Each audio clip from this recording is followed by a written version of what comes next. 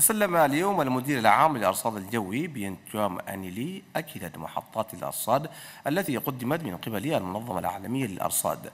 الأجهزة تسهم في تطوير المشاريع الزراعية وكذا التحكم في الآثار السلبية الناجمة عن التغيرات المناخية. بحر الدين عبد الشافي الدود.